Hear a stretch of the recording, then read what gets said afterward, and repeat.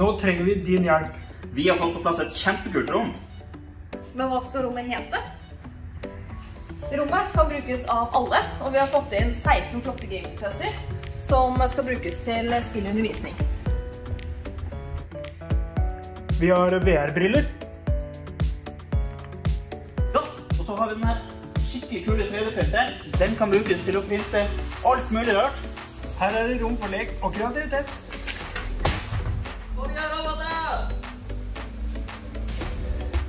Så bruk kreativiteten din og hjelp oss med navn.